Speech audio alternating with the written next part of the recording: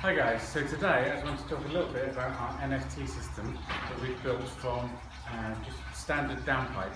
That's all there is to it. Uh, it's just downpipe, it's on a frame, it's on an A-frame, uh, and we've attached the downpipe with a zigzag motion down onto the A-frame.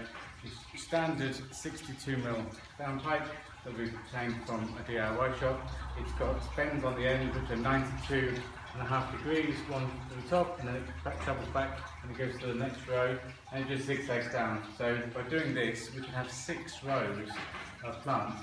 Now each one of these can have, uh, with the lettuces, about 15 uh, lettuces per row, so that's 90 plants in uh, the space, uh, 10 foot long by only uh, 3 foot wide. So it's a very small plot, but by doing it vertically, you're able to get a lot more plants in there.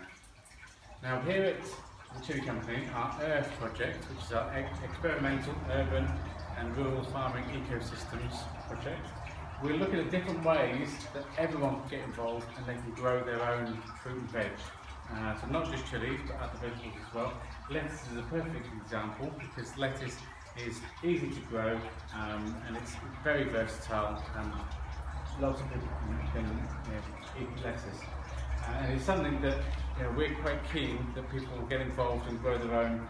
If you have got the time and if you've got a few basic DIY skills, then you'll be able to grow this system.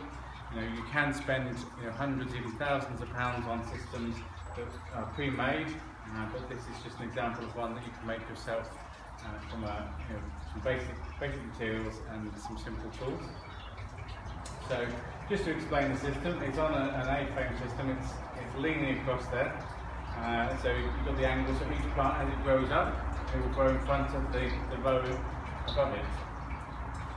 Uh, the pipe is your standard down pipe and inside there we have uh, drilled holes which are two inches wide and then we just put standard two inch net pots in and you can see this is a perfect example here.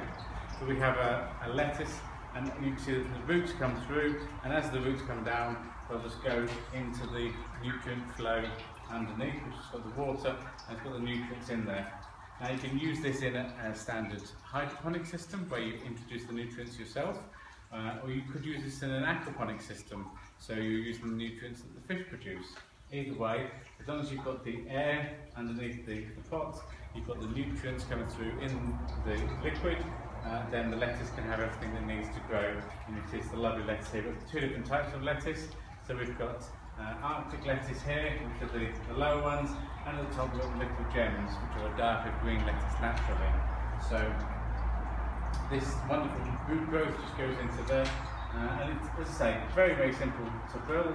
And uh, if you want details of how to build this, we've just got a fact sheet we've put together. So uh, have a look in the link below and uh, you'll be able to link straight through, get a copy of the fact sheet, and if you want, you can uh, then build one of these for yourself.